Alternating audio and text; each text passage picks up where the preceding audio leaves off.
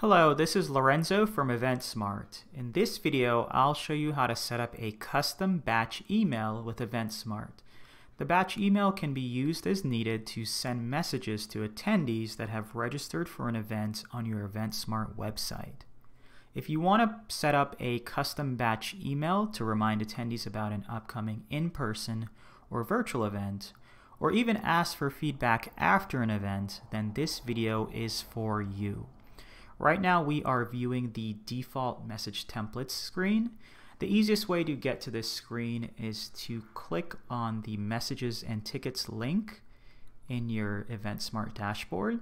Then click on the default message templates tab at the top of your screen. So we are looking for the batch template. So I'm going to scroll down and look for that one. And it appears right here. So then I'm going to go to the right side of my screen and click on that Create Custom button.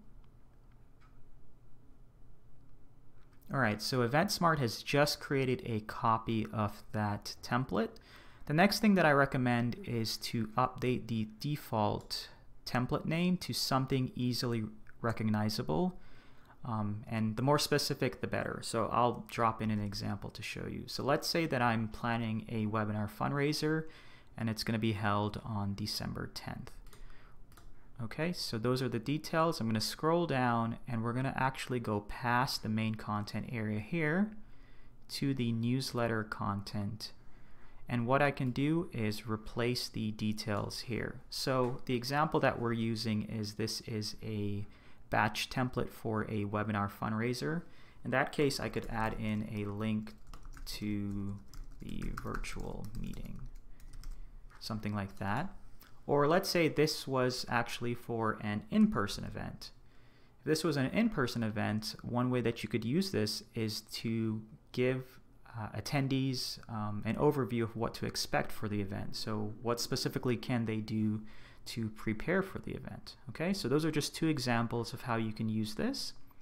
So what I'm going to do next is scroll up, click on that save button here,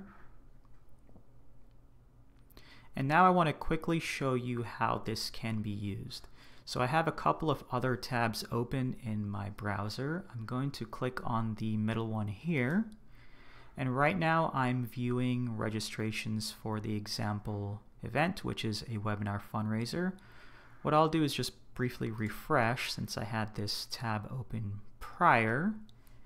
And the easiest way to see registrations for a specific event is to go to your events overview screen, hover over the name of event, and then click on registrations. So if you do that, you'll see a screen similar to this for your specific event. Now what I'm going to do is select the attendees. In this case, it's myself. Then I'll click on this send batch message button and then click on that drop down and we're going to select that custom batch template that we just set up. And when I do that, you could see that it populated with the details that were in that newsletter content shortcode. So from here, I could just make sure it's set the way that I want to, want it to be, and then click on that send button. So that is an overview of how to set up a batch email template. Remember that you can use this for an in-person or virtual event and it's helpful if you want to send a reminder about an upcoming event or even ask for feedback after an event takes place. Thanks.